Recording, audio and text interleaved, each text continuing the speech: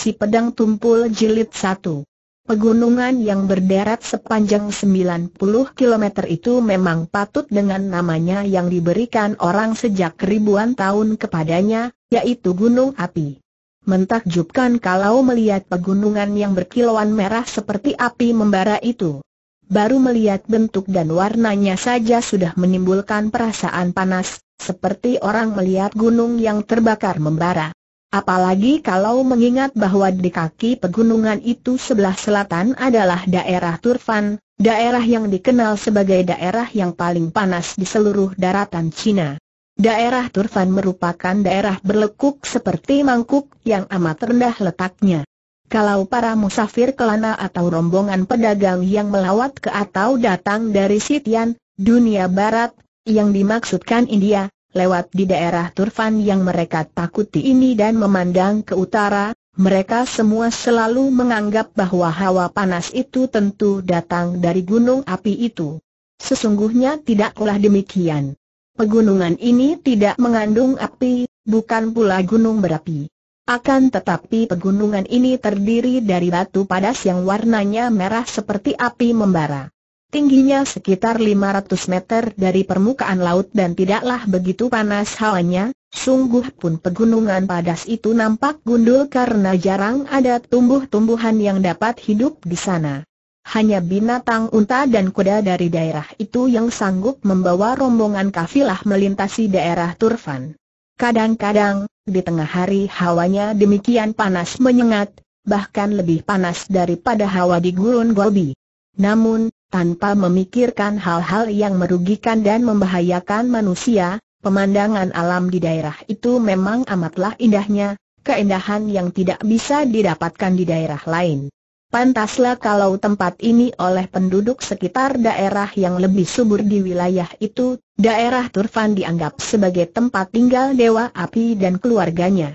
Menurut dongeng, Dewa Api telah melakukan kesalahan di kahyangan dan oleh Yang Maha Kuasa lalu dibuang ke Gunung Api, menjadi penunggu pegunungan itu.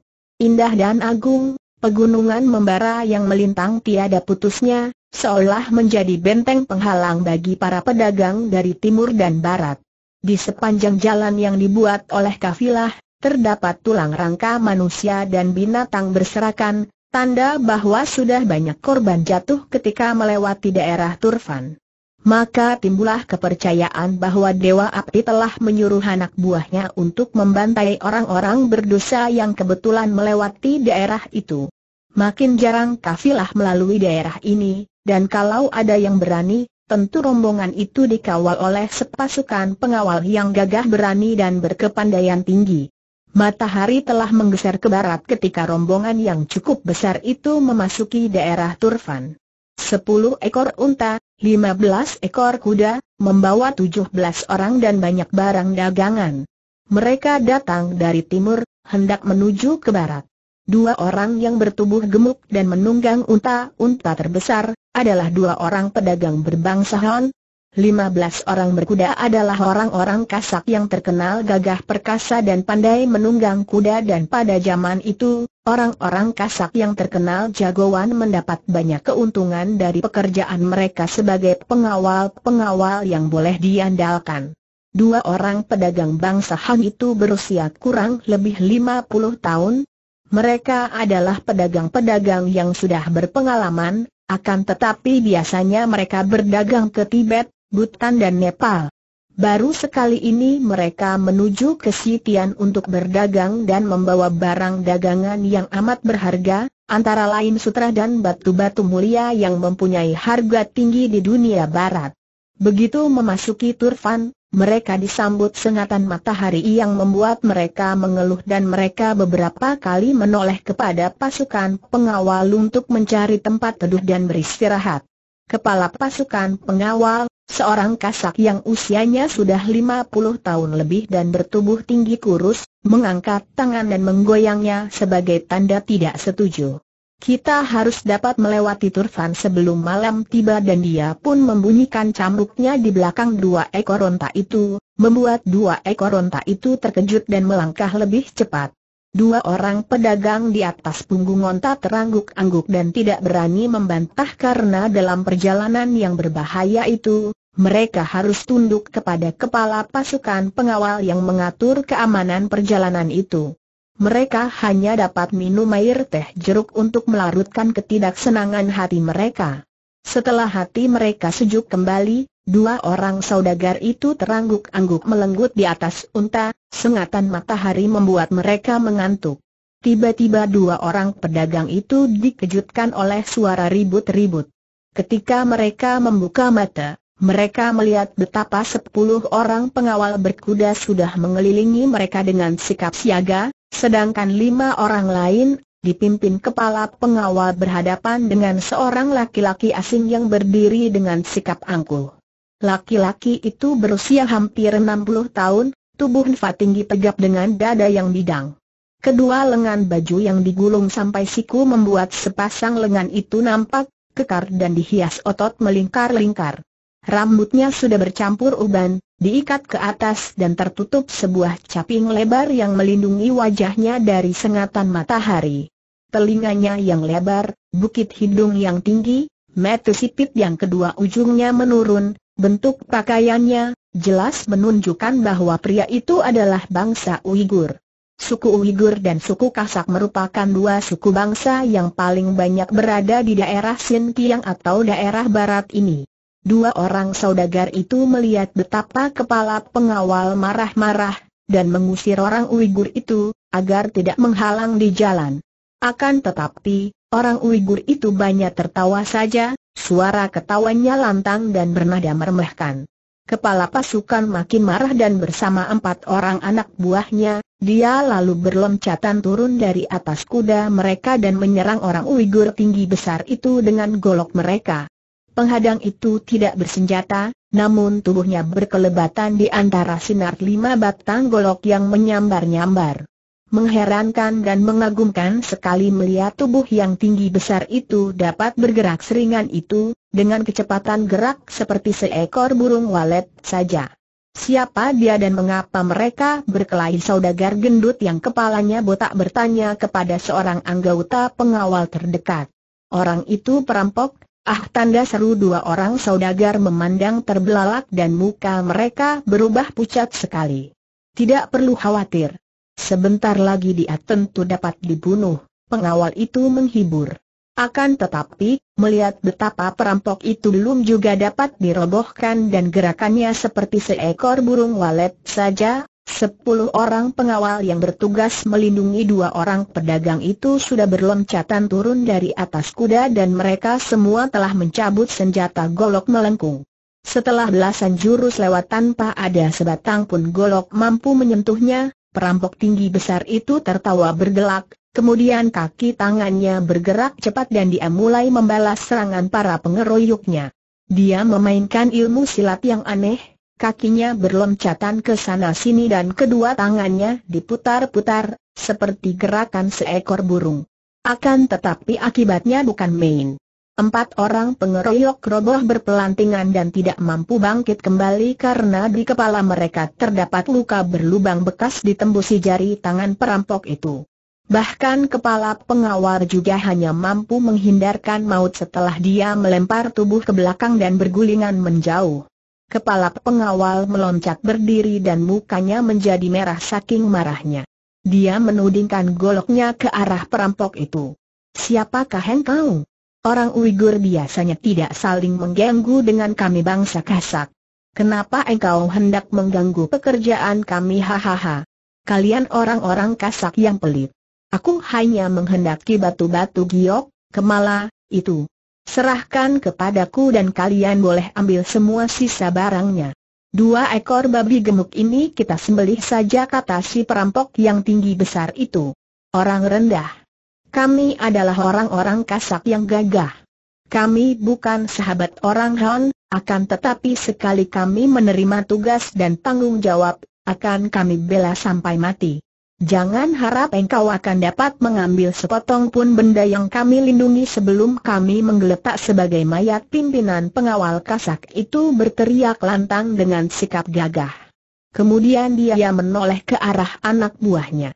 bentuk barisan pedang bintang sepuluh orang pengawal yang telah melindungi dua orang pedagang, kini berloncatan mengepung perampok itu bersama kepala pasukan, dan mereka membentuk barisan pedang bintang yang memiliki gerakan teratur, mengelilingi si perampok sambil berlarian dan sambil memainkan golok yang digerak-gerakan dari atas ke bawah, lalu diputar ke atas kembali. Gerakan ini mendatangkan sinar berkilauan karena tertimpa sinar matahari. Akan tetapi, perampok tinggi besar itu tidak menjadi gentar, bahkan tertawa. Kemudian dia mendengarkan suara melengking nyaring, menggerak-gerakan kedua lengannya dan semua perampok melihat betapa kedua lengan yang berkulit kecoklatan terbakar sinar matahari itu kini berubah menjadi merah seperti api membara. Melihat ini, kepala pengawal terkejut bukan main, Kau, kau. Datuk besar tangan api dia tergagap. Bukankah engkau sudah mengundurkan diri bahkan tinggal di daerah kami bangsa kasak dan diterima dengan baik hahaha, matamu masih awas. Nah, serahkan kemala-kemala itu dan aku akan mengampuni kalian si tangan api itu berkata. Bukan watak kami bangsa kasak untuk menyerah tanpa melawan kepala pengawal itu berseru. Kami adalah orang-orang yang setia kepada tugas sampai mati bagus, kalau begitu kalian akan mati bentak si tangan api. Barisan bintang yang terdiri dari sebelas orang itu pun sudah menggerakkan golok mereka dan melakukan penyerangan dengan serentak dan teratur. Yang mereka sebut barisan pedang bintang itu sesungguhnya adalah barisan pedang yang teratur rapi dan mereka mempelajarinya dari seorang perwira bangsa Mongol ketika pasukan Mongol menyerbu ke barat. Akan tetapi karena mereka biasa menggunakan senjata golok, maka mereka bukan memainkan pedang, melainkan golok. Melihat senjata-senjata tajam itu menyambar-nyambar dengan ganas dan teratur. Si tangan api bersikap tenang saja, bahkan senyumnya tak pernah meninggalkan bibir. Dia menggunakan kedua tangannya yang telanjang sampai ke siku, kedua lengan yang kulitnya kemerahan seperti api membara, seperti gunung api yang nampak dari situ. Ketika dia menggerakkan kedua lengan menangkis, maka terdengar suara berdenting seolah-olah kedua lengan itu terbuat daripada baja.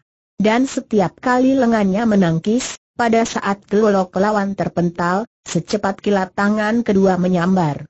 Buk yang terpukul berteriak, tubuhnya terjengkang dan tak mampu bergerak lagi. Bagian tubuh yang terkena pukulan tangan terbuka itu seperti terbakar dan ada bekas telapak tangan di bagian itu, dan orangnya tewas seketika. Teriakan susul menyusul dan sebelas orang pengeroyok itu roboh satu demi satu. Si tangan api menyapu dengan pandang matanya.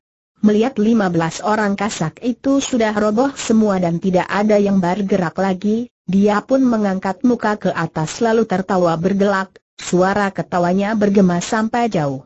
Dua orang saudagar yang menjadi ketakutan, sudah merosot turun dari onta mereka dan melihat seluruh pengawal mereka tewas, mereka lalu melarikan diri. Perut mereka yang gendut bergayutan dan karena tidak biasa bekerja keras apalagi lari, mereka jatuh bangun dan belum ada seratus langkah, mereka sudah terengah-engah kehabisan napas. Melihat mereka lari, si tangan api mengangkat tangan kanan ke atas dan dia berteriak lantang, suaranya berpengaruh. Hei, kalian berdua, berhenti tanda seru mendadak saja dua orang yang lari terhuyung-huyung itu berhenti, seolah kaki mereka mendadak melekat pada tanah yang mereka injak. Kembalilah kalian ke sini teriak pula si tangan api. Teriakan itu membuat mereka semakin ketakutan. Mereka ingin melarikan diri secepatnya, ingin meninggalkan tempat itu sejauhnya. Akan tetapi sungguh aneh. Kaki mereka bukan saja tidak mau diajak berlari, bahkan kini kaki itu membawa mereka membalik dan berlawanan dengan kehendak mereka, kedua kaki mereka melangkah menghampiri perampok yang telah membunuh semua pengawal mereka. Tentu saja kedua orang ini menggigil ketakutan ketika berdiri di depan perampok yang memandang kepada mereka sambil tersenyum itu. Mereka merasa bingung dan tidak tahu apa yang harus mereka lakukan. Mereka merasa seperti dalam mimpi dan tidak dapat menguasai lagi tubuh mereka. Berlututlah kalian teriak pula si tangan api. Kini kedua orang itu menjatuhkan diri berlutut. Bukan saja karena kaki mereka menghendaki demikian, akan tetapi juga karena rasa takut yang menghantui hati. Si tangan api menggunakan kakinya menendang dua batang golok yang banyak berserakan di situ, ke arah dua orang saudagar itu. Kalian ambil golok itu sungguh aneh. Perintah ini tak mungkin dapat dibantah. Dua orang pedagang itu, di luar kemauan mereka, menjulurkan tangan mengambil golok pada gagangnya. Nah, sekarang kalian bunuh diri dengan golok itu. Penggal leher kalian sendiri perintah yang aneh. Tentu saja dalam hati kecil mereka, dua orang saudagar ini menentang dan tidak mau, akan tetapi, kekuatan yang amat besar mendorong dalam benak mereka, dan tanpa dapat dicegah lagi, tangan yang Mi megang golok itu mengayun golok dan dua orang pedagang itu menebas leher sendiri dengan golok di tangan masing-masing. Mereka tak sempat mengeluarkan suara, roboh mandi darah yang bercucuran keluar dari luka parah di leher mereka. Hahaha, bagus. Ilmu silatku, tenagaku, dan ilmu sihirku, semua masih ampuh, hahaha sambil tertawa-tawa dia lalu memeriksa semua barang bawaan, mengambil kantung terisi perhiasan emas permata dan terutama sekali ukiran batu giok, kemala, memilih tiga ekor kuda, meloncat ke atas punggung seekor kuda dan menarik tali kendali dua ekor yang lain lalu dia melarikan kuda meninggalkan tempat itu. Sunyi senyap di tempat pembantaian manusia itu. Sunyi yang mencekam dan mengerikan. Tiga ekor burung semacam Raja Wali terbang lalu dan mereka mengeluarkan bunyi mencicit panjang. Agaknya tiga ekor burung itu ikut merasa ngeri dan prihatin menyaksikan akibat ulah manusia yang dikenal sebagai makhluk paling mulia dan paling tinggi derajatnya di seluruh permukaan bumi. Bagi burung-burung itu, tidak ada makhluk yang lebih ganas daripada manusia. Manusia membunuh makhluk lain hanya demi mengejar kepuasan dan kesenangan, bukan karena kebutuhan mutlak. Hawa udara yang biasanya memang amat panas itu menjadi semakin panas. Nafsu adalah api yang paling panas, yang dapat membakar segala dengan liar, apabila tidak terkendali. Bahkan matahari bersembunyi di balik segumpal awan, seolah merasa malu melihat apa yang terjadi di daerah Turfan itu. Hanya untuk sekantung emas permata, seorang manusia tega membunuh 17 orang manusia lain dengan hati dan tangan dingin. Hanya untuk merampas sekantung benda mati, karena benda itu dianggap akan dapat mendatangkan kesenangan dan kepuasan bagi gairah nafsunya. Kurang lebih sejam setelah si tangan api pergi, muncul tiga orang pria lain di daerah yang panas itu.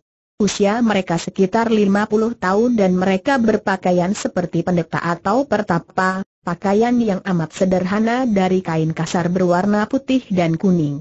Di daerah barat ini, di mana terdapat banyak pertapa yang mengasingkan diri dari kehidupan ramai, kehadiran tiga orang ini tentu bukan merupakan hal yang aneh lagi. Akan tetapi kalau mereka berada di timur, dunia persilatan akan mengenal mereka dengan baik karena mereka ini merupakan tiga orang manusia sakti yang dijuluki Sam Sian, tiga dewa. Biarpun mereka bertiga itu tidak pernah muncul berbareng selama ini di dunia persilatan, namun karena ketiganya merupakan orang-orang sakti yang sukar dicari bandingnya, maka mereka mendapat julukan Sam Sian. Mereka juga jarang sekali muncul di dunia ramai semenjak mereka mengundurkan diri belasan tahun yang lalu. Ciu Xian, Dewa Arak, diberikan sebagai julukan Tong Kui yang bermuka selalu kemerahan seperti orang mabok. Wataknya ugal-ugalan seperti mabok, perutnya gendut walaupun tubuhnya tidak terlalu gemuk sehingga dia nampak seperti kanak-kanak bertubuh besar yang berpenyakit cacingan. Pakaiannya penuh tambalan. Dilihat sepintas lalu, tidak ada apa-apanya yang mengesankan. Namun, orang ini memiliki ilmu kepandaian silat tangan kosong yang sukar ditemukan keduanya, dan dia pun memiliki Sin Kang, tenaga sakti, dan ginkang, ilmu meringankan tubuh, yang dahsyat. Orang kedua bersama Lo San.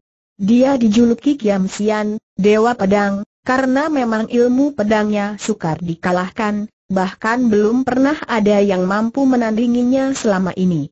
Mukanya kekuningan tubuhnya tinggi kurus. Biarpun julukannya Dewa Pedang, namun tidak nampak dia membawa pedang seperti para pendekar lainnya yang menaruh pedang di punggung atau di pinggang. Selain ilmu pedang dia juga ahli banyak macam ilmu silat, ahli pula tentang filsafat agama tuh. Kepalanya dilindungi sebuah caping lebar dan pakaiannya yang juga sederhana itu nampak bersih. Orang ketiga bernama Tioki dan dia dijuluki Pek Mawasian, Dewa Rambut Putih. Entah mengapa, sejak berusia 30 tahun rambutnya telah berubah putih semua. Wajahnya tampan dan dia selalu tersenyum ramah sehingga rambut yang kesemuanya putih itu tidak membuat dia nampak tua. Tubuhnya kurus sedang dengan pakaian yang terbuat dari kain sederhana akan tetapi potongannya rapi walaupun tetap longgar seperti pakaian pendeta. Di pinggangnya terselip sebuah kipas bergagang gading, lagak dan bicaranya menunjukkan bahwa dia seorang sastrawan atau setidaknya terpelajar. Penampilannya menunjukkan seorang yang lemah. Akan tetapi justru penampilannya ini yang menyembunyikan kepandaian hebat. Selain ahli silat yang tingkatnya tidak di bawah dua orang rekannya. Dewa rambut putih ini pun memiliki ilmu sihir yang cukup kuat. Tiga orang sakti itu segera melibat beberapa ekor kuda yang berlarian liar. Kuda-kuda itu masih dipasangi kendali. Tentu saja mereka merasa penasaran, bahkan mereka dapat menduga bahwa para penunggangnya tentu akan kehilangan. Dan peristiwa ini membuktikan adanya kejadian yang tidak wajar. Mereka pun tanpa bicara lagi lalu menggunakan ilmu berlari cepat, menuju ke arah dari mana datangnya kuda-kuda itu. Tak lama kemudian mereka sudah tiba di tempat pembantaian tadi. Mereka menghampiri dan sejenak mengamati mayat-mayat itu dan tahu bahwa mereka itu menjadi korban pembantaian. Sian Cai, damai. Di mana-mana nafsu menguasai manusia sehingga terjadi kejahatan keji. Sungguh menyedihkan sekali, Sian Chai Kiam Sian Lo San menarik napas panjang. Pek Mau Sian, engkau pernah bilang bahwa seluruh alam maya pada ini berputar karena keseimbangan antara im, negatif, dan yang, positif. Kalau tidak ada malam, mana ada siang? Kalau tidak ada kejahatan, mana ada kebajikan? Yang disebut baik baru ada kalau ada keburukan.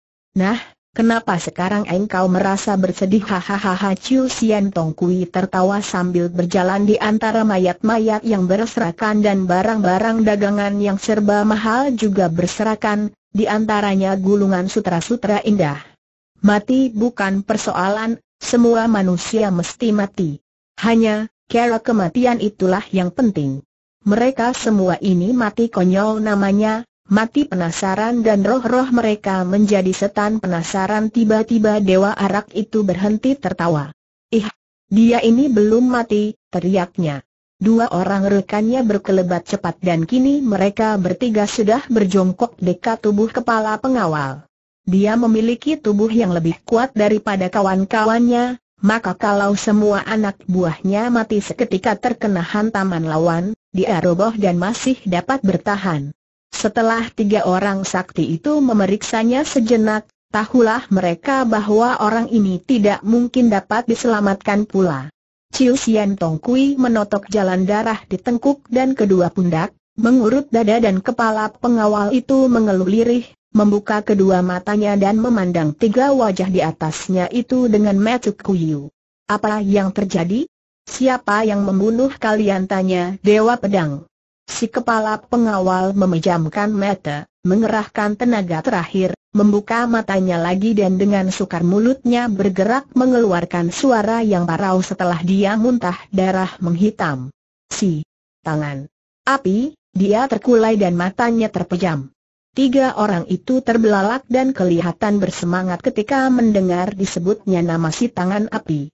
Melihat keadaan orang yang terluka parah itu, Dewa Rambut Putih segera mengerahkan kekuatan batinnya, mengusap muka dan dada orang itu. Dan, sungguh aneh, kepala pengawal yang tadi kelihatan sudah putus napasnya itu membuka matanya yang sudah kosong sinar, seperti orang mimpi saja. Cepat katakan, di mana si tangan api kata Dewa Rambut Putih, suaranya tidak wajar, melengking dan penuh getaran yang berwibawa. Kiranya orang sakti ini sedang mempergunakan seluruh tenaga dan kekuatan sihirnya untuk memberi dorongan semangat sehingga pada saat terakhir orang yang sudah sekarat itu masih akan dapat memberi keterangan yang diinginkannya. Komadi Ye Ning Ye Ili, hanya sekian orang itu dapat bicara. Dia terkulai dan tewas. Akan tetapi, disebutnya Ye Ning dan Ye Ili itu saja sudah cukup bagi tiga dewa. Sudah berbulan-bulan mereka berkeliaran di daerah barat ini, bahkan menjelajahi Tibet dan Xinjiang untuk mencari satu orang saja, yaitu si tangan api. Mereka tahu bahwa Ye Enning adalah sebuah kota yang terdapat di daerah Ye Ili, daerah yang menjadi pusat tempat tinggal orang-orang kasak. Siapakah tiga dewa dan apa hubungan mereka dengan si tangan api? Seperti telah kita ketahui, Tiga dewa adalah tiga orang tokoh persilatan yang memiliki ilmu kepandaian tinggi. Akan tetapi sebetulnya sejak belasan tahun yang lalu, mereka telah menarik diri dari dunia persilatan, tekun bertapa untuk memajukan perkembangan jiwa mereka. Akan tetapi, akhirnya mereka keluar juga ketika mereka mendengar bahwa di dunia persilatan terjadi kegemparan. Di dunia persilatan muncullah seorang jagoan, Seorang datuk kaum sesat yang berjuluk si tangan api.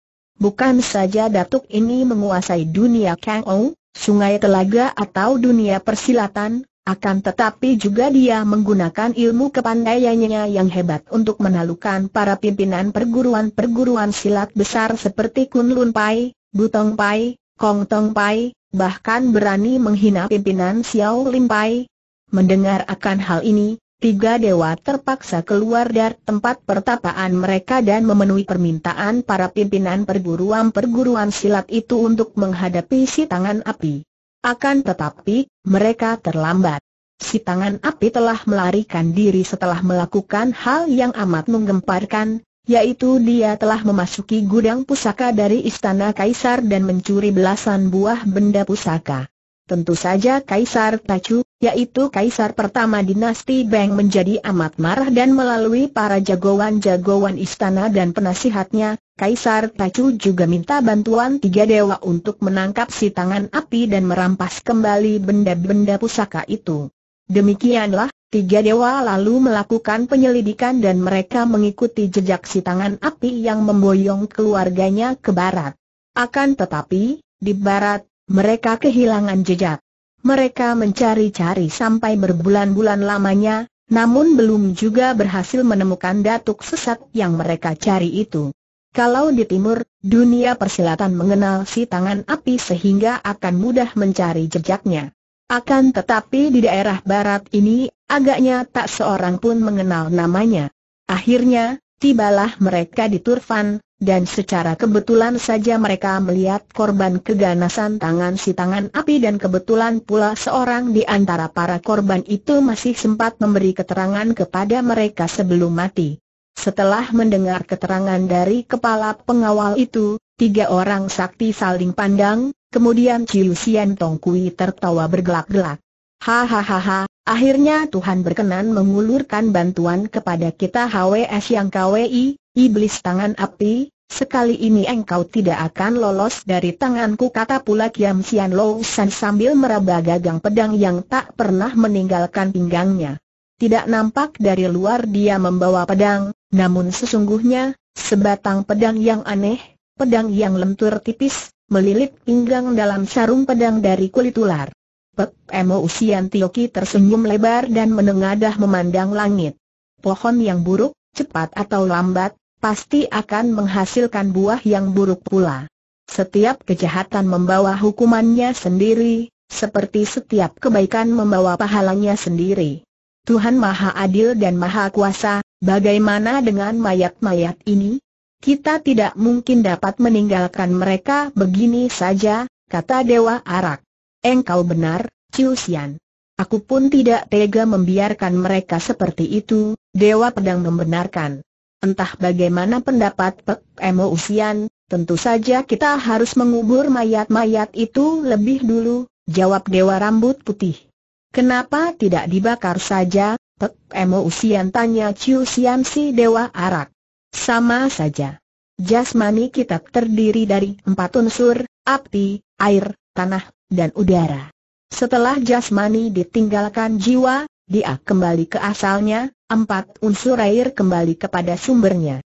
Dalam keadaan seperti ini, paling mudah dan tepat kalau kita mengubur mereka. Untuk membakar mereka, kita kekurangan bahan bakar dan akan makan waktu, sedangkan kita perlu segera mencari si tangan api ke daerah Yeili, dua orang yang lain mengangguk setuju. Di antara mereka bertiga, memang Dewa Rambut Putih yang paling pandai mengeluarkan pendapat dan mengambil keputusan. Tiga orang sakti itu lalu bekerja dengan cepat menggali lubang yang besar, menggunakan golok-golok yang berserakan di situ. Sebelum senja tiba, mereka sudah selesai mengubur 17 mayat itu ke dalam sebuah lubang yang besar dan menimbuni lubang itu. Kemudian mereka pun meninggalkan tempat itu untuk melakukan pengejaran terhadap si tangan api. Dewa Arak tidak lupa untuk mengambil beberapa meter sutra putih dan kuning untuk pengganti pakaian mereka kelak kalau ada kesempatan untuk membuatnya.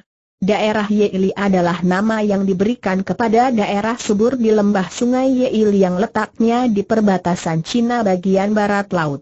Lembah itu amat subur terbentang luas padang yang hijau dan subur, indah permai.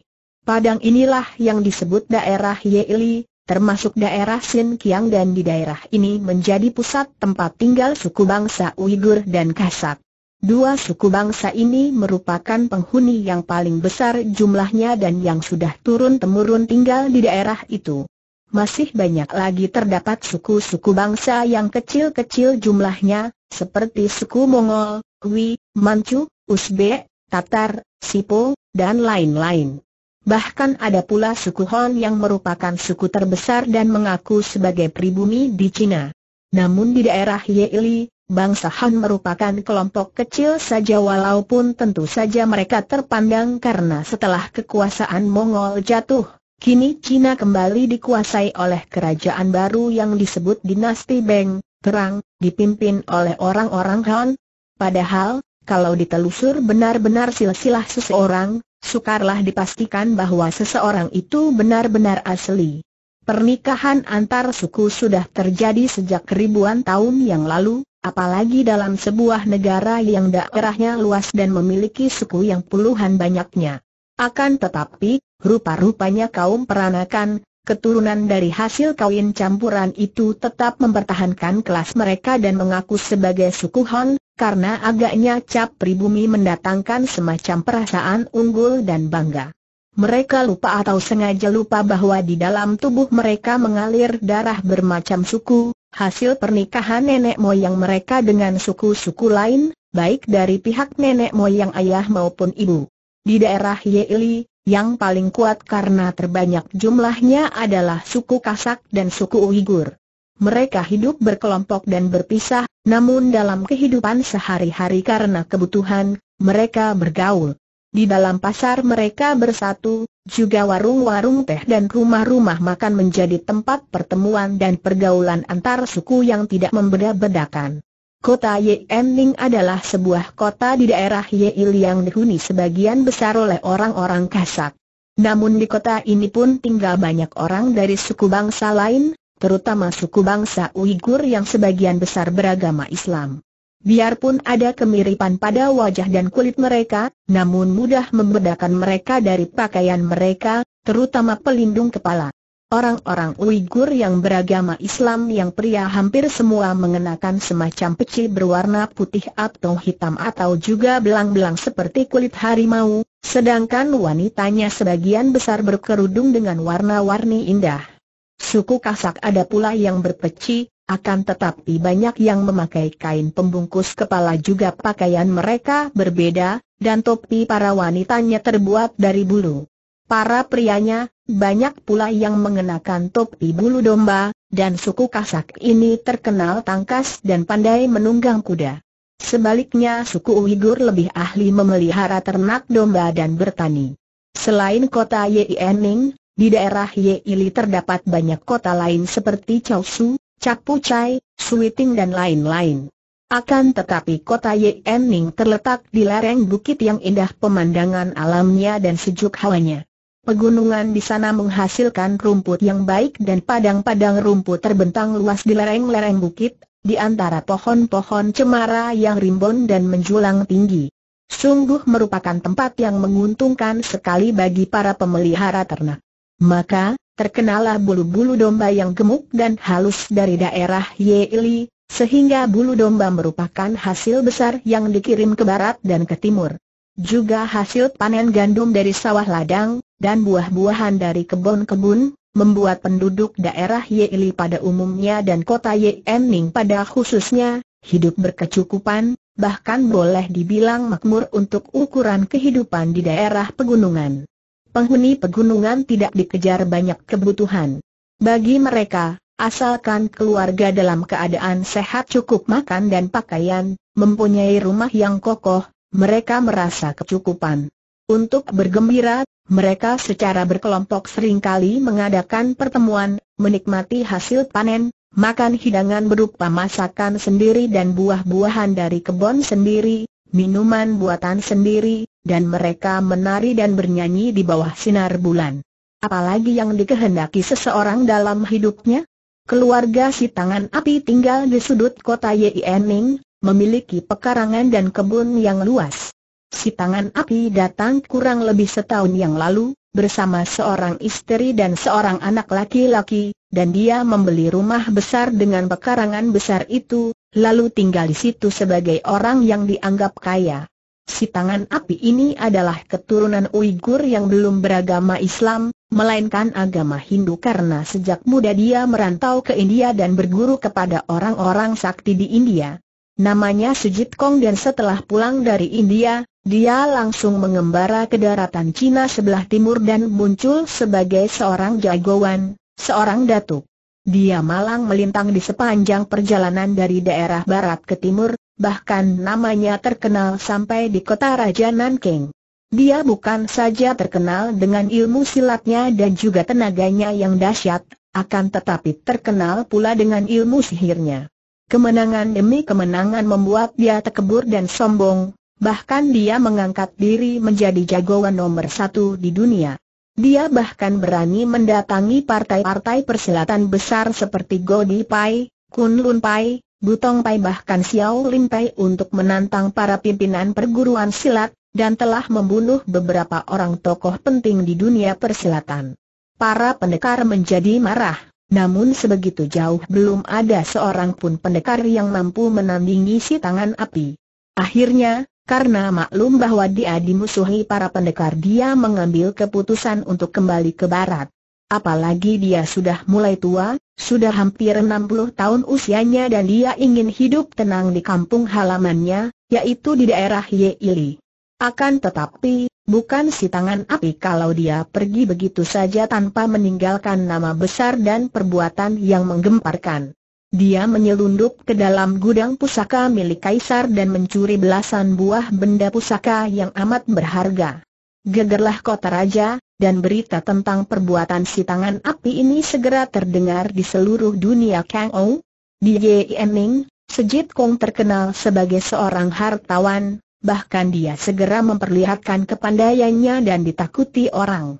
Nama julukannya si tangan api segera dikenal orang di seluruh Yeili. Akan tetapi, berkat permintaan istrinya, di Yeili dia tidak pernah melakukan kejahatan dan hidup tenang tenteram seperti yang diidamkannya. Istri Sejit Kong adalah seorang wanita, yang jauh lebih muda, berusia 28 tahun dan memiliki kecantikan yang khas suku Uighur. Wanita Uighur memang memiliki kecantikan yang khas, manis dan anggun. Sejit Kong amat sayang kepada istrinya ini, dan hal ini nampak dalam kehidupan mereka sehari-hari. Bahkan datuk itu memanjakan istrinya, membelikan banyak pakaian sutra yang indah-indah, juga perhiasan yang mahal-mahal. Dan wanita itu pun kelihatan mencinta suaminya, walaupun ia pendiam dan tidak pernah mau bercerita tentang keadaan keluarganya.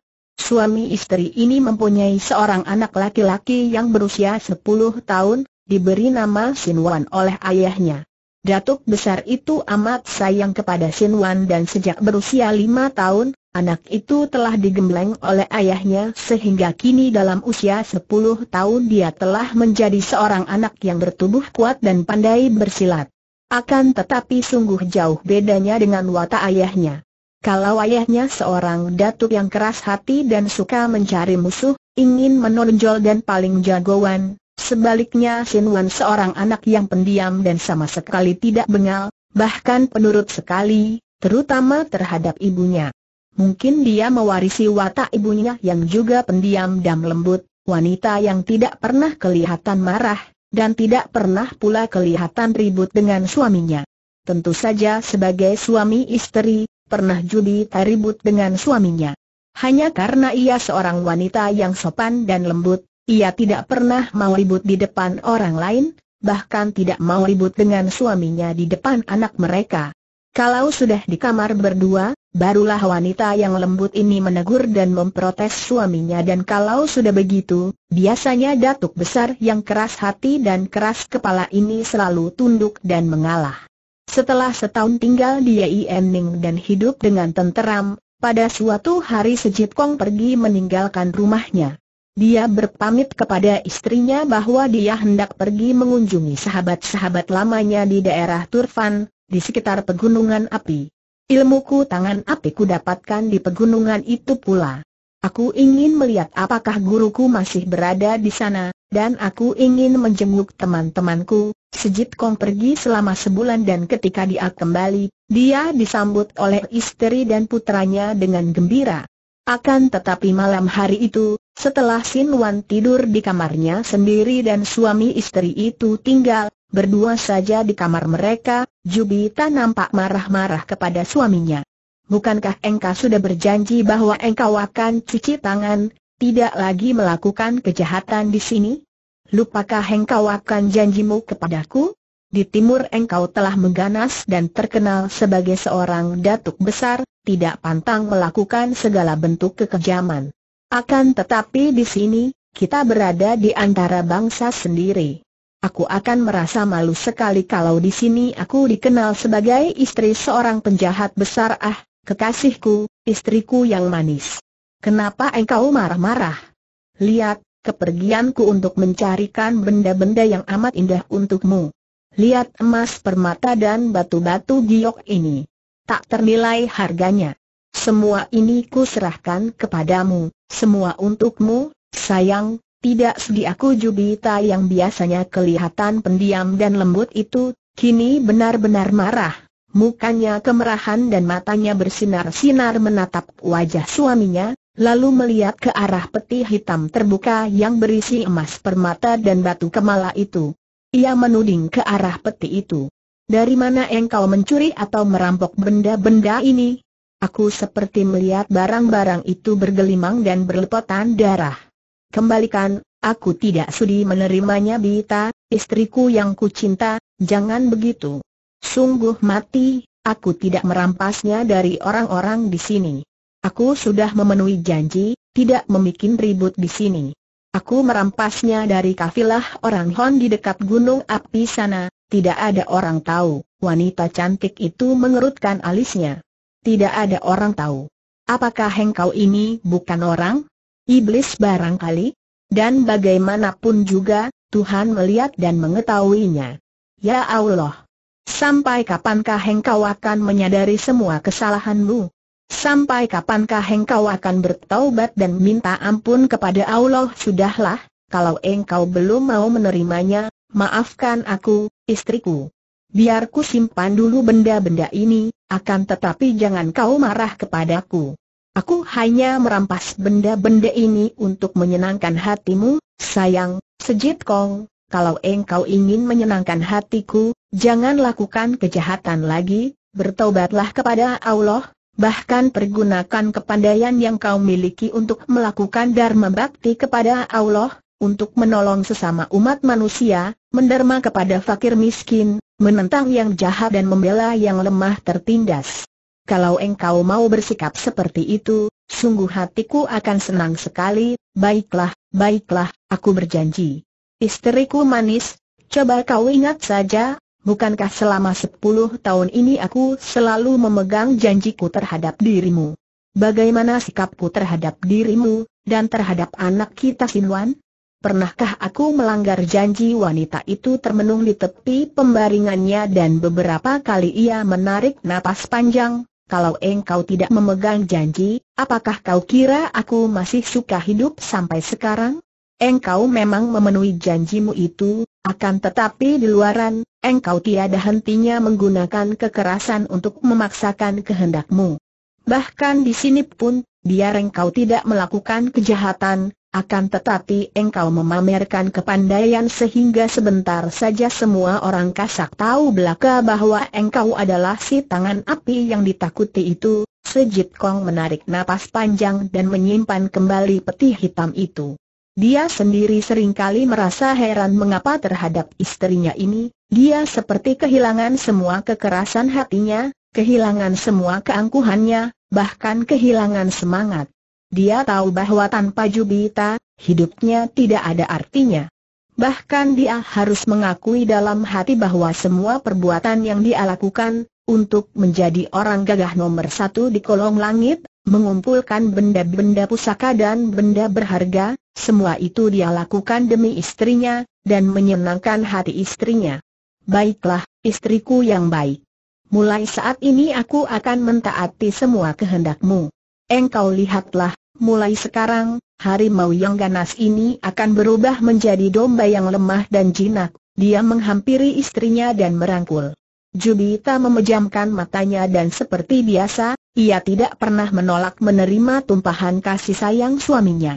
Ia seorang istri yang baik, yang tidak pernah mengurangi kewajibannya, dan biarpun baru saja ia menegur dan marah kepada suaminya, kini ia siap melayani suaminya dengan pasrah. Malam itu, Sin Wan asik dengan oleh-oleh ayahnya, yaitu sebuah kitab dongeng sejarah. Sejak kecil, oleh ibunya Sin Wan diharuskan mempelajari ilmu sastra, sehingga dalam usia 10 tahun, dia sudah pandai baca tulis.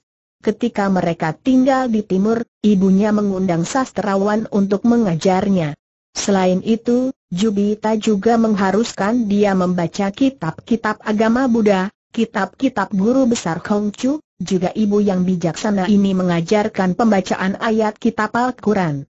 Ibunya mengajarkan budi pekerti, sehingga biarpun sejak kecil anak itu digembleng ilmu silat oleh ayahnya, namun dia tetap berwatak lembut, percaya dan memuja Tuhan Allah, pencipta seluruh alam maya pada berikut isinya.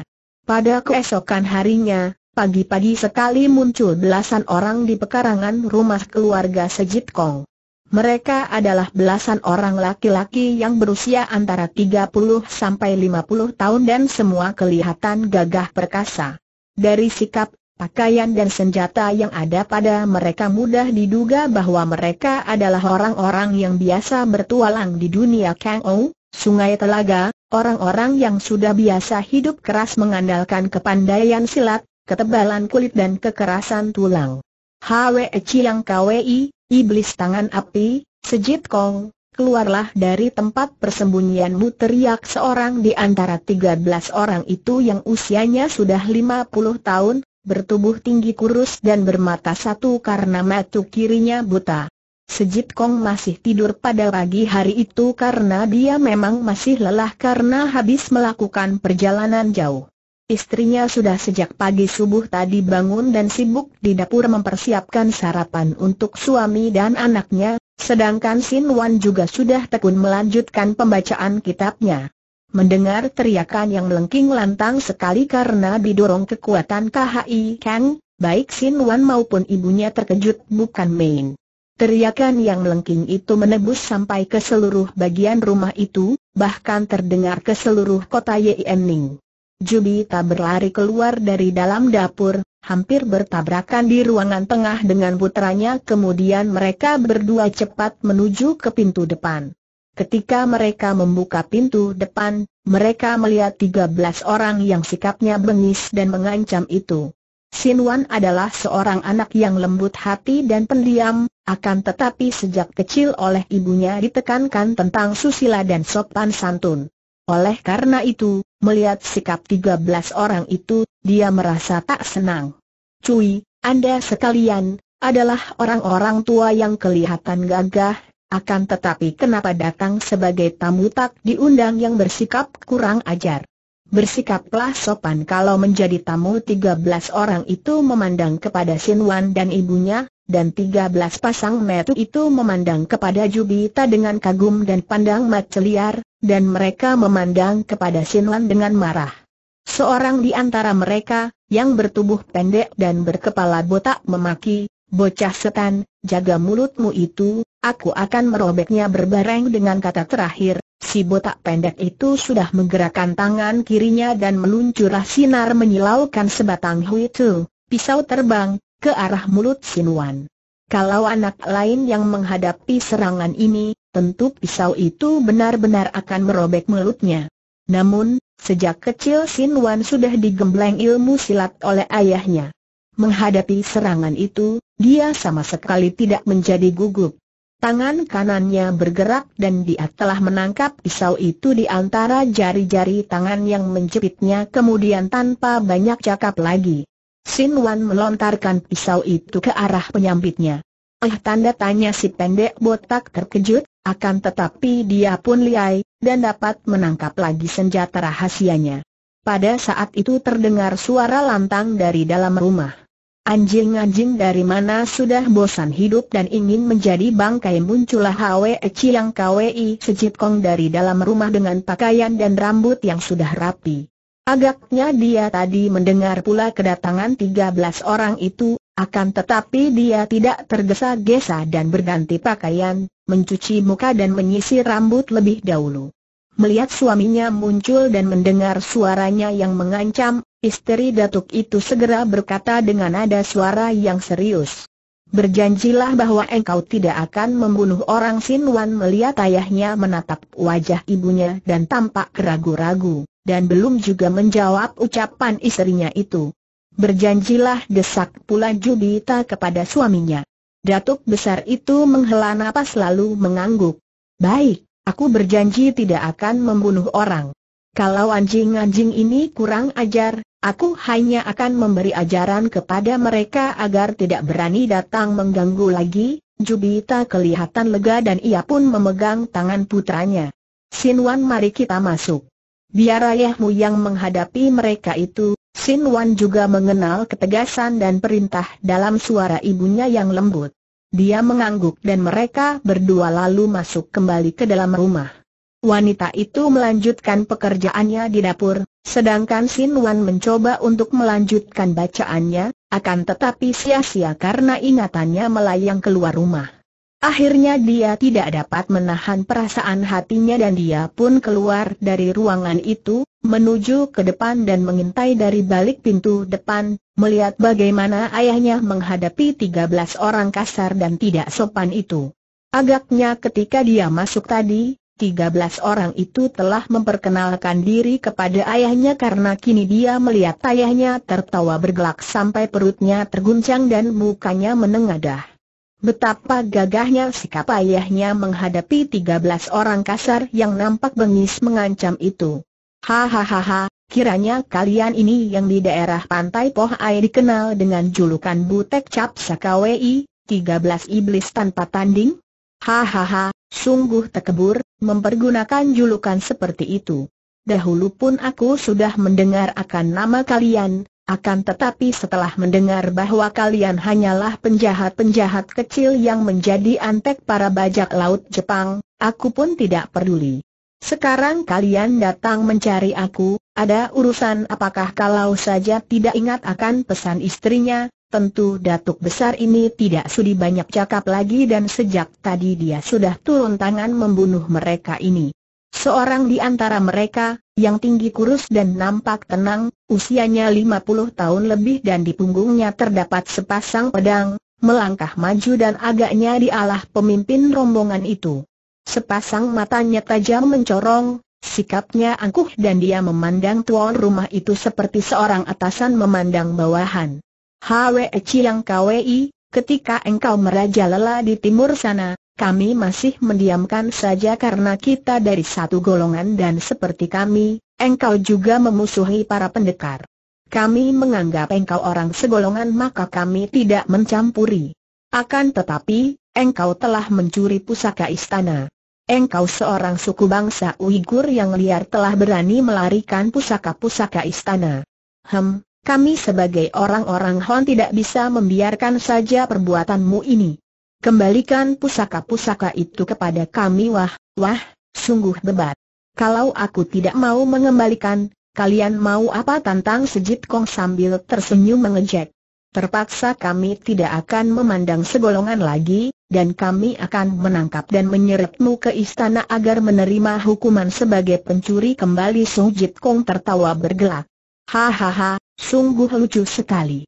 Butek Cap Sakawei sudah biasa membantu para bajak laut Jepang, sekarang tiba-tiba ingin menjadi pahlawan?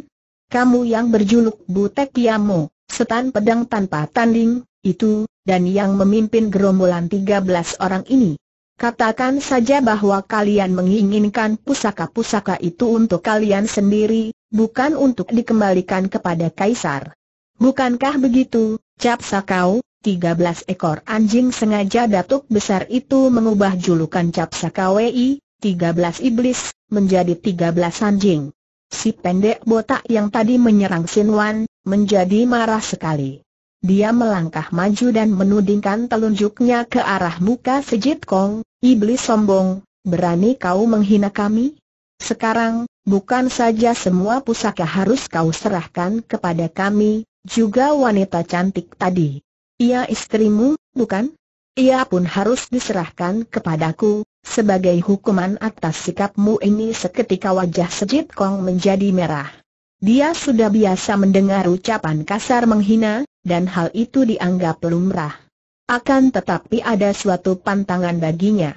Siapa pun juga di dunia ini tidak boleh menghina istrinya tersayang. Sinar matanya seperti berapi dan panas ketika dia menatap wajah si pendek botak itu. Si botak ini memang berwatak macu keranjang. Dia merupakan seorang di antara tiga saudara berjuluk Butek Sam Choa, tiga ular tanpa tanding, yang masuk menjadi anggota kelompok 13 iblis tanpa tanding. Semua anggota gerombolan ini menggunakan julukan butek, tanpa tanding, yang menunjukkan kesombongan watak mereka. Dan di daerah Poyang, di sepanjang pantai Laut Timur, mereka memang amat ditakuti, apalagi setelah mereka bergabung dengan para bajak laut Jepang yang selalu mengganggu keamanan di perairan Laut Timur dan di sepanjang pantai, Jahanam busuk, Aku harus menghancurkan mulutmu, bentaknya dan tiba-tiba saja tubuh Sejit Kong yang tinggi tegap itu sudah melayang ke depan, ke arah si pendek botak. Biarpun dia pendek, namun si botak ini terkenal dengan kecepatan gerakannya dan juga tenaganya yang besar. Engkau yang akan mampus di tanganku bentaknya dan dia pun sudah melolos rantai yang kedua ujungnya dipasangi pisau seperti pisau terbang yang biasa dia pergunakan sebagai senjata rahasia. Begitu Sejit Kong meloncat dekat, dia sudah menyambut dengan serangan rantainya. Dua batang pisau itu menyambarnya yambar dahsyat dan terdengar suara bersiutan nyaring. Diam-diam Sejit Kong menilai gerakan lawan dan taulah dia bahwa lawannya ini tidak boleh dipandang remeh. Apalagi ketika dua orang saudara si botak juga maju mengeroyoknya. Mereka bersenjata golok besar dan gerakan mereka pun dahsyat. Sejit Kong yang memiliki ilmu meringankan tubuh yang sudah tinggi tingkatnya, mempergunakan kelincahan gerakannya untuk mengelak, berloncatan menyelinap di antara gulungan sinar rantai dan golok. Namun, dia tidak membalas kepada dua orang yang lain, karena perhatiannya dia tujukan kepada si botak pendek untuk melaksanakan ancamannya. Dia harus menghancurkan mulut yang telah berani menghina istrinya itu. Setelah lewat belasan jurus dikeroyok tiga orang yang berjuluk tiga ular tanpa tanding itu. Sejit Kong melihat kesempatan baik.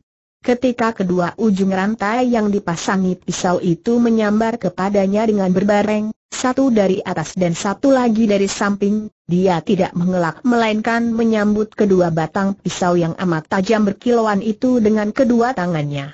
Dia berhasil menangkap dan mencengkeram kedua batang pisau itu, menangkap rantainya dan sebelum si botak tahu apa yang terjadi, Kedua lengannya telah terbelit rantai dan tubuhnya terangkat dari atas tanah lalu diputar-putar menyambut golok kedua orang saudaranya.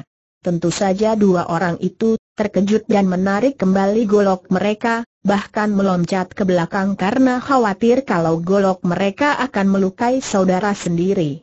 Sejit Kong menghentikan putaran tubuh si pendek botak yang kedua lengannya telah terbelit rantai, menurunkannya dan sekali dia menggerakkan tangan kiri, jari-jari tangannya yang panjang dan besar, yang kuat bagaikan baja mentah, sudah menampar ke arah mulut si botak. Prak tubuh si botak terpelanting dan dia pun roboh dengan muka mandi darah karena mulutnya telah remuk. Tulang rahang berikut semua giginya hancur dan biarpun dia tidak akan tewas dengan luka itu, namun sukar dibayangkan bagaimana dia akan mampu bicara dan bagaimana pula dia akan mengirim makanan ke dalam perutnya. Sejit Kong selalu teringat akan janjinya kepada istrinya, maka ketika tangannya menampar tadi, dia membatasi tenaganya agar jangan membuat hancur kepala botak itu. Melihat betapa si botak itu roboh dengan muka bagian bawah remuk, tentu saja dua belas orang lainnya menjadi marah sekali. Butek Yamo yang memimpin gerombolan itu segera mengeluarkan bentakan dan mencabut sepasang pedangnya, kemudian bersama rekan-rekannya dia lalu mengepung sejit kong yang berdiri dengan tenang dan tegak di tengah-tengah, tanpa memegang senjata apa pun. Biarpun demikian, dia tetap waspada karena dia maklum bahwa tingkat kepandaian para pengepungnya ini sama sekali tidak boleh disamakan dengan kepandaian 15 orang kasak yang dibunuhnya baru-baru ini ketika dia merampas barang berharga dari kafilah itu. Kini yang mengeroyoknya adalah tokoh-tokoh Kang Ou yang terkenal dan rata-rata memiliki ilmu silat yang tinggi dan tenaga yang besar. Sin Wan yang menonton perkelahian itu, memandang dengan hati bangga dan kagum. Biarpun dia sendiri berwatak lembut dan ibunya selalu menekankan bahwa mempergunakan kekerasan untuk melukai, apalagi membunuh orang lain, merupakan perbuatan yang jahat dan tidak baik, namun kini melihat ayahnya dikeroyok dan ayahnya menghadapi orang-orang yang jahat itu, dia merasa bangga. Apalagi ketika melihat ayahnya bergerak sedemikian cepatnya sehingga tubuhnya tak nampak lagi. Yang nampak hanya bayangan berkelebatan di antara sambaran banyak senjata, kemudian terdengar teriakan-teriakan disusul robohnya para pengeroyok seorang demi seorang. Dalam waktu tidak lebih dari setengah jam, 13 orang tokoh sesat yang terkenal di dunia Kangou itu telah roboh semua. Tidak ada seorang pun di antara mereka yang tewas. Ada yang patah tulang pundaknya, patah tulang kaki atau lengan, ada yang bocor kepalanya, ada yang pingsan, akan tetapi tidak ada yang tewas. Cap Sakawei, dengar baik-baik. Kalian harus berterima kasih kepada istriku, karena kalau tidak ada dia, kalian sekarang sudah menjadi bangkai semua. Nah, pergilah dan jangan injak lagi daerah ini Butek Yamo sendiri hanya patah tulang pundak kanannya. Dia masih dapat berjalan dan menggerakkan lengan kiri. Karena maklum bahwa dia dan kawan-kawannya tidak akan mampu menyerang lagi, dia lalu memimpin kawan-kawannya untuk saling bantu dan dengan terpincang-pincang, ada yang memapah kawan, ada pula yang menggotong teman yang pingsan, mereka meninggalkan kota Yening diikuti sorak dan ejekan dari para penghuni kota yang tadi sempat menyaksikan pertempuran di pekarangan rumah si tangan api itu. Sin Wan lari ke dalam menemui ibunya di dapur. Dengan gembira dia menceritakan kepada ibunya betapa ayahnya dengan gagah perkasa berhasil mengusir 13 orang kasar itu. Ayah hebat sekali, ibu, kata Sinuan. Mereka itu rata-rata memiliki ilmu kepandaian yang hebat, dan mereka semua bersenjata, sedangkan ayah yang dikeroyok tidak memegang senjata. Namun, mereka semua roboh dengan luka-luka. Akan tetapi, tidak ada seorang pun yang dibunuh ayah, Ibunya mengangguk, akan tetapi wajahnya tidak kelihatan gembira. Bagaimana ia akan dapat menikmati hidup tenteram kalau setelah pindah begini jauh, masih saja suaminya didatangi orang-orang yang memusuhinya. Semua ini adalah akibat care hidup suaminya yang lalu, care hidup yang penuh kekerasan, penuh perkelahian dan permusuhan. Sinwan, Ku harap kelak setelah dewasa, engkau tidak mempunyai banyak musuh seperti ayahmu, aku tidak suka bermusuhan, ibu, akan tetapi di dunia ini banyak orang jahat. Kalau aku diserang orang, seperti tadi, tentu aku harus membela diri. Ayah tadi pun hanya membela diri. Orang-orang itulah yang datang mencari perkara dan menyerang ayah, wanita itu diam-diam mengeluh dalam hatinya puteranya itu tidak tahu orang apa sebenarnya ayahnya itu. Sin Wan tidak tahu bahwa ayahnya adalah seorang datuk besar dunia sesat yang terkenal amat kejam dan tidak pantang melakukan kejahatan bagaimanapun juga. Dia hanya tahu bahwa ayahnya seorang yang sakti, memiliki banyak ilmu yang dahsyat, dan bahwa ayahnya amat mencinta ibunya dan amat sayang kepadanya. Sudahlah. Sin Wan, aku sedang sibuk masak, dan aku tidak ingin bicara tentang perkelahian itu, Sin Wan meninggalkan dapur dan mencari ayahnya. Sejit Kong berada di kamarnya dan sedang mengagumi benda-benda yang dikeluarkan dari dalam sebuah peti hitam besar. Ketika Sin Wan memasuki kamar, dia menoleh dan tersenyum. Masuklah, dan mari kau lihat benda-benda pusaka ini, Sin Wan. Benda-benda ini tak ternilai harganya benda-benda itu ada yang indah, ada yang aneh pula bagi Sinuan. Ada patung Dewi Kuan Im yang amat indah, terbuat dari gading terukir halus. Ada pula mainan dari batu giok yang juga diukir indah sekali, berbentuk naga, ada pula yang seperti bentuk burung hong. Juga terdapat dua batang pedang yang sebuah memiliki sarung dan gagang yang terbuat daripada emas terukir indah sekali, bahkan sarung dan gagang itu dihias intan permata yang berkilauan. Akan tetapi ada pula sebatang pedang yang sarungnya terbuat dari kulit yang kasar, dan gagangnya juga sederhana sekali. Sudah pergikah semua orang kasar tadi? Ayah Sin Wan bertanya sambil duduk di kursi dekat ayahnya, mengamati benda-benda indah dan aneh itu. Hahaha, engkau melihat mereka tadi? Dan engkau sudah menghalau serangan Hui Tu, pisau terbang, ya? Bagus. Mereka sudah kuusir pergi, pencoleng-pencoleng cilik tak tahu diri itu. Kalau bukan ibumu yang melarangku, tentu mereka semua itu sudah kubunuh mengapa mereka itu datang memusuhi ayah tikus-tikus tak tahu diri itu ingin merampas benda-benda pusaka ini, Sinwan, Kini perhatian Sinwan tertarik kepada benda-benda itu. Memang ada yang indah, banyak yang aneh, akan tetapi mengapa orang-orang datang memusuhi ayahnya untuk merampas benda-benda ini? Apa sih hebatnya benda-benda ini sampai mereka datang hendak merampasnya darimu hahaha, anak bodoh. Kau tahu, semua orang Kangou siap mempertaruhkan nyawa untuk dapat memiliki sebuah saja dari benda-benda pusaka ini hem, Alangkah anehnya, Sin Wan memperhatikan benda-benda itu satu demi satu. Memang ada yang indah menarik, akan tetapi seperti pedang ini, apa sih bagusnya?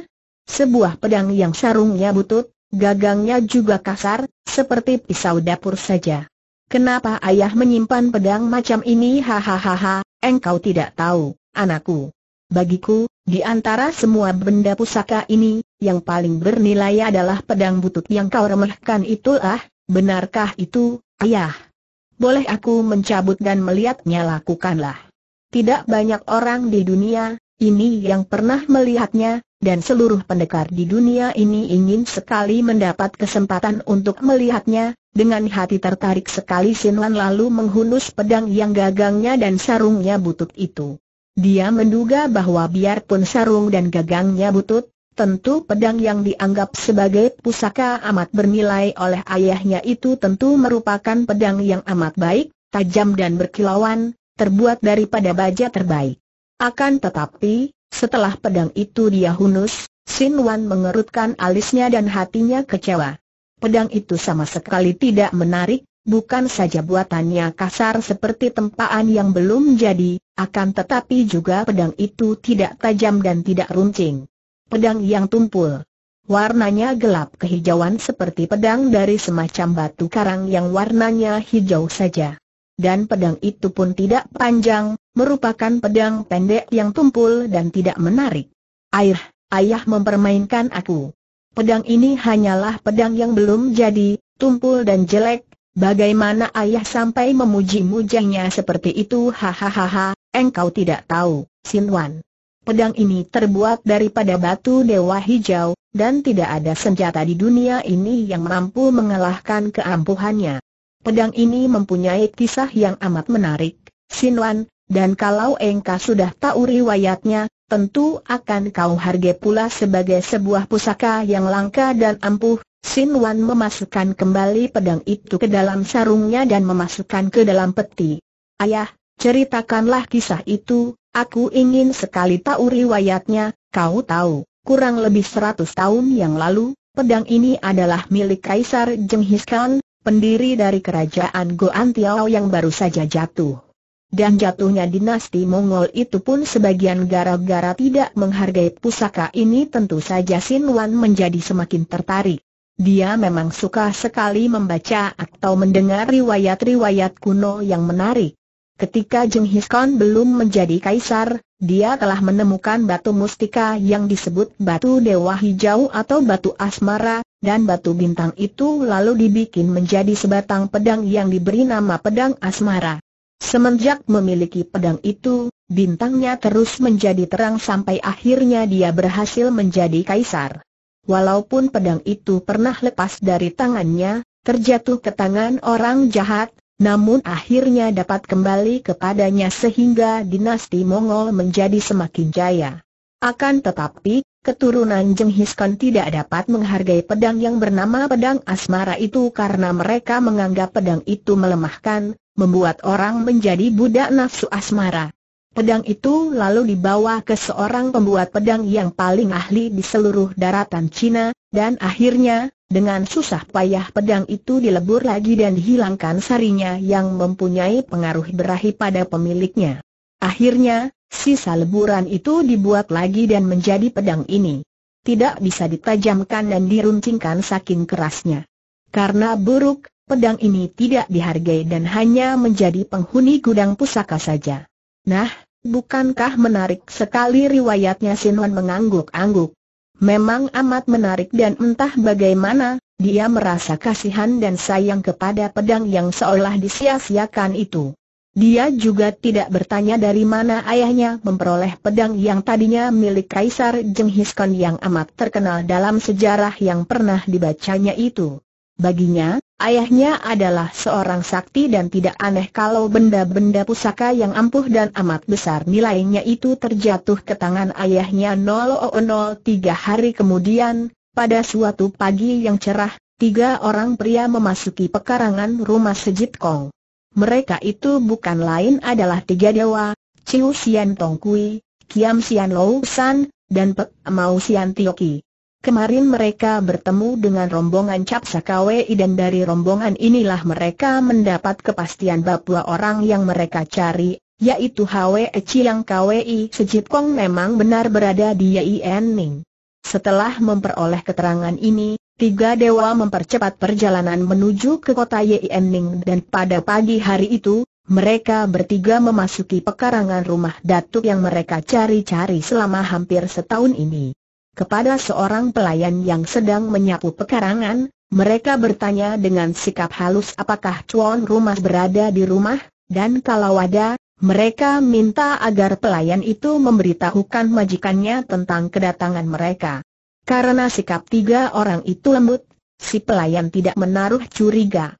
Sikap mereka ini tidak seperti sikap tiga belas orang yang datang tiga hari yang lalu.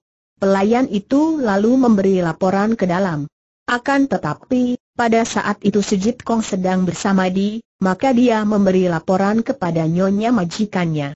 Nyonya, di depan ada tiga orang tamu yang ingin bertemu dengan tuan majikan, kata pelayan itu.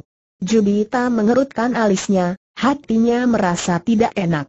Mereka siapakah pelayan itu menggeleng kepala. Mereka tidak memberitahukan nama, akan tetapi mereka adalah tiga orang laki-laki setengah tua yang bersikap ramah dan lembut, dan pakaian mereka seperti pakaian pendeta atau pertapa, Chuan majikan sedang bersama di, aku tidak berani mengganggunya. Biar kutemui mereka, kata Jubita. Sin Wan yang juga berada di situ segera bangkit dan menemani ibunya. ketika mereka tiba di luar, mereka melihat tiga orang berpakaian tosu, pendeta agama Tu, berdiri di luar pintu. Tiga orang itu begitu melihat yang muncul seorang wanita cantik dan seorang anak laki-laki, segera memberi hormat dengan mengangkat kedua tangan depan dada dan membungkuk. Nyonya muda, harap maafkan kami bertiga kalau kami mengganggu Nyonya dengan kedatangan kami, kata Pek Mau Sian Tioki yang menjadi juru bicara mereka karena dia yang paling pandai bicara, juga sikapnya halus dan sopan, tidak seperti Chiu Sian yang biarpun pandai bicara pula, namun ugal-ugalan dan terbuka. Melihat sikap mereka yang sopan, Jubita juga membalas penghormatan mereka. Tidak mengapa, akan tetapi siapakah Sam Wit Tiang, Bapak Pendeta bertiga, dan ada keperluan apakah dengan kami kami datang berkunjung untuk bertemu dengan saudara Sejit Kong karena kami mempunyai urusan penting untuk dibicarakan dengan dia. Adapun saya bernama Tioki, dua orang saudara ini bernama Tong Kui dan Lo San. Kami datang dari jauh, dari timur, dari kota Raja Nanking, kata pula Dewa Rambut Putih.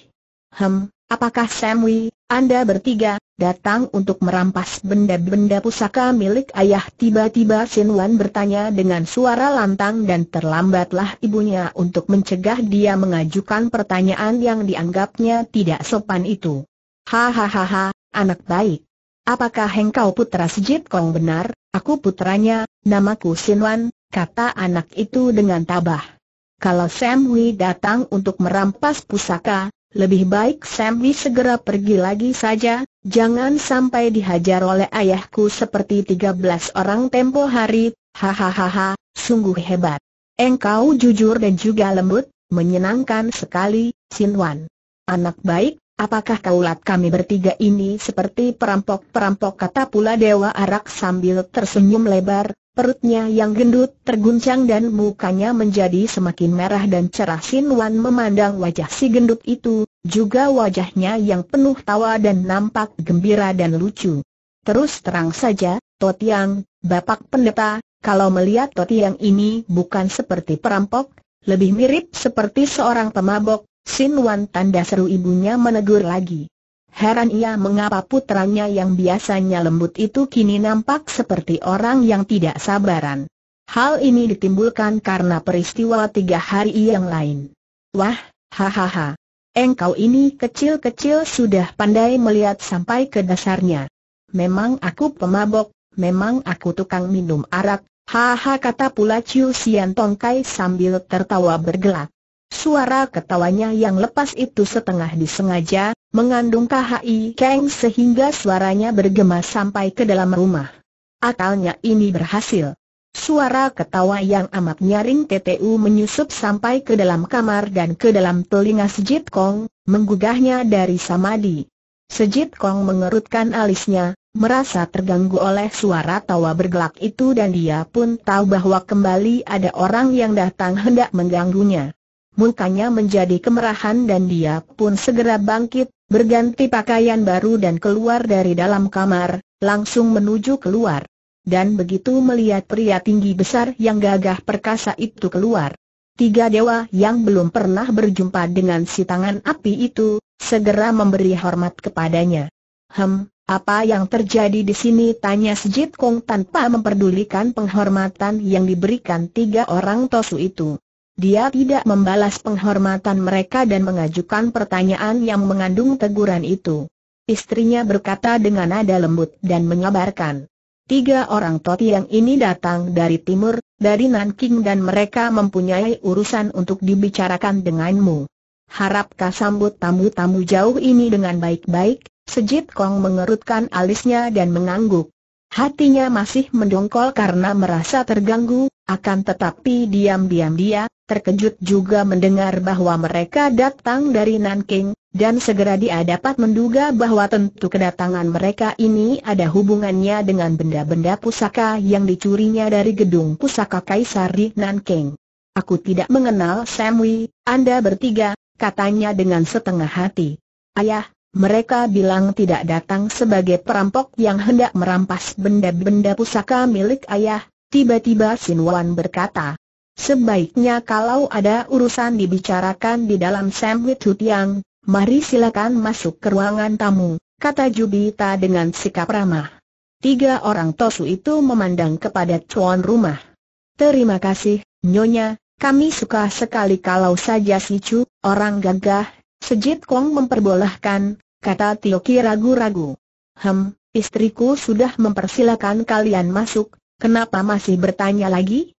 Masuklah dan cepat ceritakan apa maksud kedatangan kalian. Tiga orang tosu itu mengikuti Chuan dan Nyonya rumah memasuki ruangan tamu yang berada di sebelah kiri depan. Ruangan yang cukup luas, di mana terdapat meja kursi yang nyaman. Jibi tak sengaja tidak meninggalkan suaminya sekali ini, karena ia tidak ingin suaminya membuat ribut dan perkelahian Iagi. Ia merasa yakin bahwa kalau ada terjadi keributan, hanya ia seoranglah yang akan mampu mengendalikan suaminya dan mencegah terjadinya keributan. Karena ia tetap di ruangan tamu, Sin Wan juga mendapatkan kesempatan untuk ikut pula hadir dan mendengarkan. Dan biarpun Sejit Kong merasa tidak senang dengan kehadiran istri dan putranya, dia tidak berani mengusir istrinya dan kemarahannya dia tumpahkan kepada tiga orang tamunya. Nah, cepat bicara. Siapa kalian dan mau apa kalian mencariku katanya ketus. Sikap Sejit Kong ini berwibawa sekali, dan biasanya para calon lawannya sudah merasa gentar dibuatnya, seperti wibawa seekor harimau kalau mengaum dan dengan wibawa aman itu sudah mampu melumpuhkan korbannya. Akan tetapi, tiga orang tosu itu nampak tenang saja. Dewa Arak bersikap acuh, memandang ke sekeliling seperti mengagumi keindahan hiasan ruangan itu, lalu mengambil guci arak yang diselipkan di gendungannya dan mengguncangnya untuk mengetahui isinya. Diteguknya arak dari mulut Guci dan wajahnya nampak gembira sekali seperti menikmati araknya yang sedap. Si Dewa Pedang nampak tenang, menatap wajah tuan rumah dan diam saja, karena seperti juga Dewa Arak, dia menyerahkan pembicaraan kepada rekannya, yaitu Dewa Rambut Putih.